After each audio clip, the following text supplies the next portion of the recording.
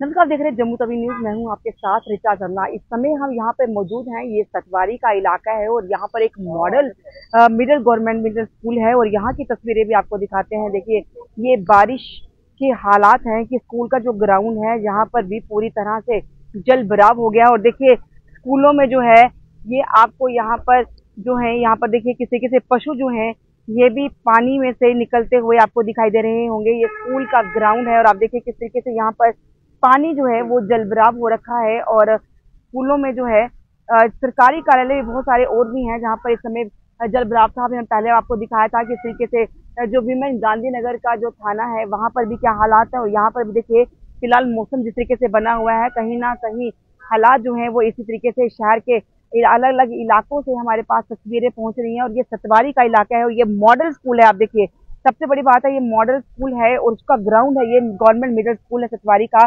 जहाँ पर ये सिचुएशन है कि यहाँ पर भी निकासी की दिक्कत है।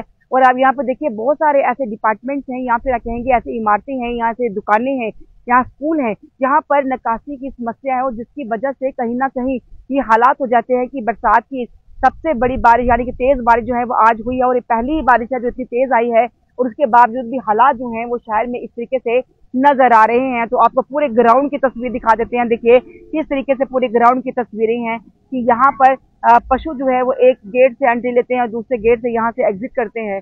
और दूसरी साइड से आप देखिए यहाँ पर पानी के क्या हालात हैं और बच्चे जो हैं फ़िलहाल बारिश में अगर क्योंकि स्कूल अभी लगे हुए हैं और ऐसे में ग्राउंड में कोई आ नहीं सकता, कोई यहाँ से जा नहीं सकता अगर किसी को यहाँ से आसपास से चलना है तो आपको बाहरी रास्ते का ही इस्तेमाल करना होगा। और अगर स्कूल की अगर छुट्टी होगी तो गेट तक पहुँच नहीं पाएँगे।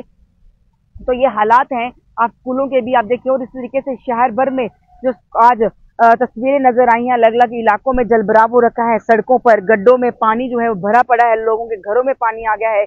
दुकानों में पानी है, जिसकी वजह से काफ़ी ज़्यादा परेशानियों का सामना करना पड़ा है। लेकिन कहीं ना कहीं जिसे जम्मू को जो स्मार्ट सिटी कहा जाता है कहा जा रहा है और कई प्रोजेक्ट चल रहे हैं, ऐसे में जब पहली बारिश में ही इस तरीके के जगह जगह से तस्वीरें आती हैं तो वो कहीं ना कहीं स्मार्ट सिटी प्रोजेक्ट के दावे या पोल दोनों ही खोलता है। कैमरामैन अमीन सरिता जम्मू तमिल।